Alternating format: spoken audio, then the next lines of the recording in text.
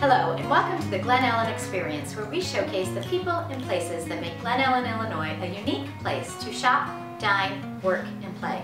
I'm your host, Meredith Hanna, and today we're at Clued In Escape Rooms at 440 Roosevelt Road in Glen Ellyn. And I'm joined today by owner Brian Summer of Clued In Escape Room. Hello. Hi, Brian. Thanks so much for having us today. Thanks for coming out.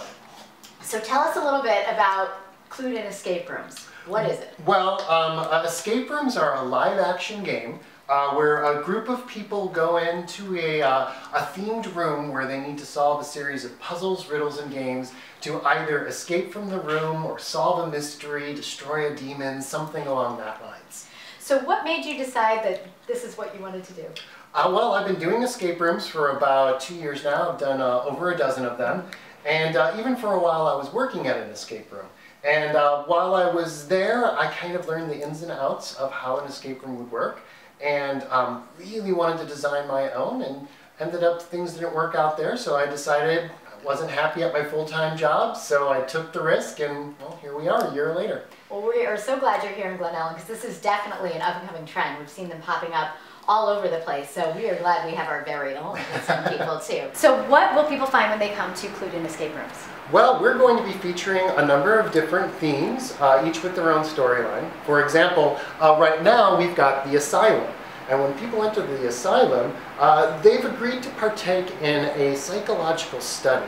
Uh, but before they know it, things turn sinister and they're fighting for their lives.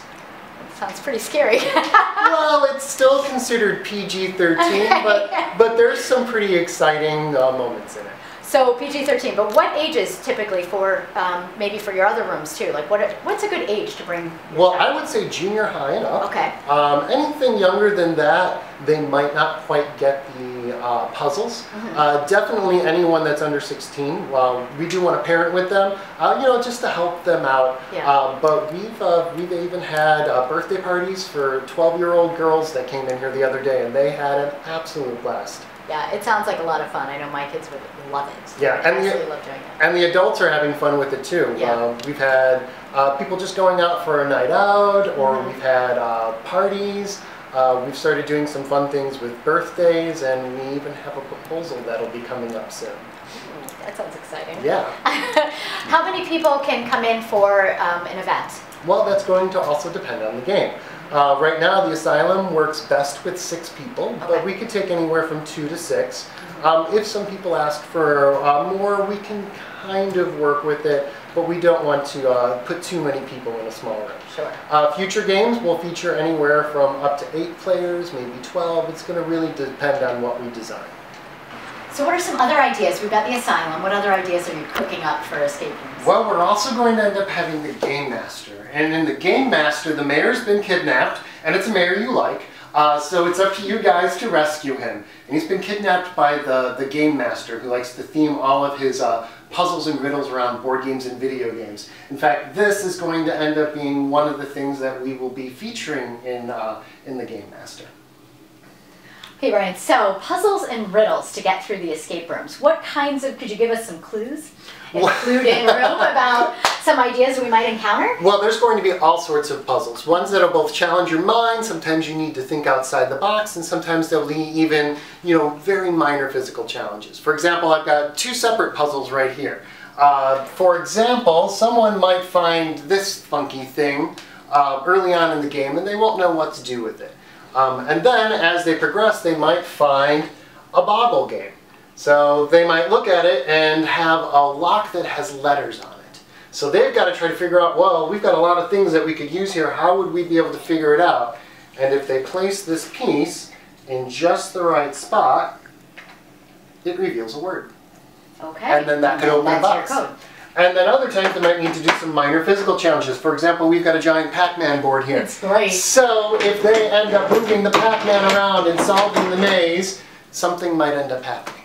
So it may be something would lower from the ceiling or a, a, door that was closed would open or a lock that was locked might open.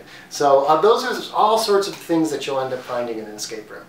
You know, everyone likes to come to an escape room. We've seen uh, families, we've seen date nights, we've had uh, birthday parties here, bachelor, bachelorette parties, um, and corporate team building.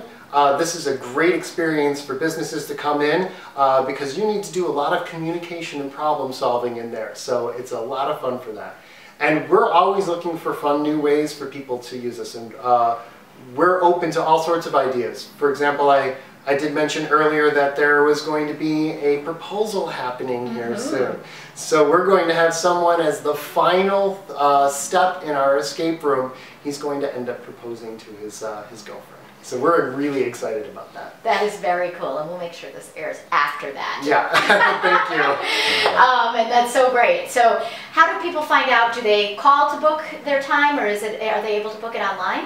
In fact, we uh, recommend people book it online. Uh, okay. Uh, they go to uh, cluedinescaperooms.com. Mm -hmm. uh, there's a big book now button right in the center. And when you click on that, it will show you what games we have, uh, give you a description of them, uh, pricing, and availability. It's very easy to use.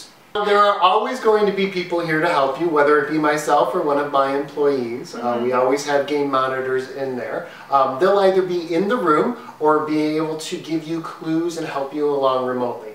Uh, there are no limit to the number of clues you can ask here. There's no penalty.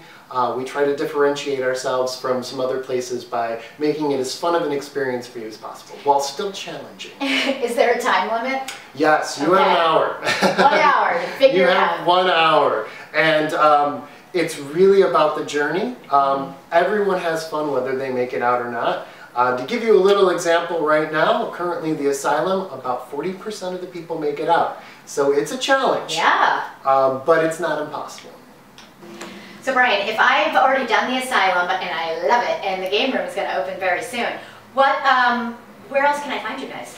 Well, we're trying to do all sorts of things around the area. Uh, for example, we're doing mini pop-up escape rooms. So uh, we've been going to breweries lately where you can do a free 15-minute escape room game. Uh, so you can check out the website to find out where we're going to be next with that. Um, and then we're also uh, looking at some other ideas. Uh, for example, we're going to be combining an art show with an escape room. So a local uh, artist collective called Studio 630 will be coming in here, hanging up some of their artist work for sale, but then we're also going to end up having an escape game uh, put around that. What a great concept. Yeah, so we will be uh, coming up with all sorts of different ways for people to experience escape rooms coming up soon. Thank you to Clued In Escape Rooms and Brian for hosting us today. And thank you for joining us. Remember, when in the Chicago area, to visit Glen Ellyn's unique places to shop, dine, work, and play. And I'll see you on the next installment of the Glen Ellen Experience.